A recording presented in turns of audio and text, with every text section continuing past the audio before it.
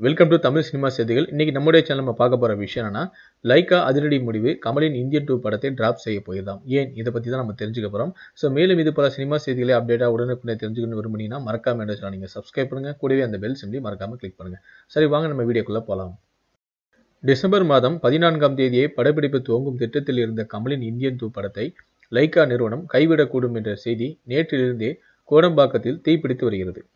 தமிழ் சினிமாவின் அத்தனை mega budget படங்களையும் சுவாக செய்து வரும் லைக்கா நிறுவனம் டூ பாயிண்ட் ஓவுக்கு அடுத்தபடியாக சுமார் இருநூத்தம்பது கோடி பட்ஜெட்டில் கமல் சங்கர் காம்பினேஷனில் இந்தியன் டூ படத்தை துவங்கியது. சுமார் ஒரு மாதத்துக்கு முன்பே இந்த செட் வேலைகள் துவங்கப்பட்டது என்றும் இரண்டு நிமிட காட்சிக்காக இரண்டு கோடியில் போடப்பட்ட செட் என்றும் உள்ளே அழுகிறேன் வெளியே சிரிக்கிறேன் என்றபடி ஒரு செய்தியை வெளியிட்டது லைக்கா ஆனால் இந்த ஷெட்யூலுக்கு கமல் சொன்னபடி ஷூட்டிங்கே வரவில்லையாம். இன்னொரு பக்கம் இரண்டு கோடியில் போடப்பட்ட செட்டின் பட்ஜெட் மூன்று கோடிக்கும் மேல் ஆகிவிட்ட கடுப்பில் இருந்த லைக்கா நிறுவனம் கமலும் டேக்கா கொடுத்ததால் பெரும் கவலைக்குள்ளாகி இருந்ததாம்.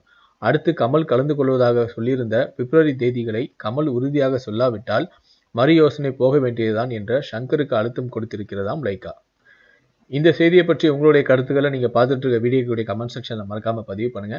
மேலும் இது போல சினிமா செய்திகளை அப்டேட்டாக உடனுக்குடனே தெரிஞ்சுக்கணும்னு நினச்சிங்கன்னா மறக்காம சேனல் நீங்கள் சப்ஸ்கிரைப் பண்ணுங்க. கூடவே அந்த பெல் சிம்லையும் மறக்காம கிளிக் பண்ணுங்க.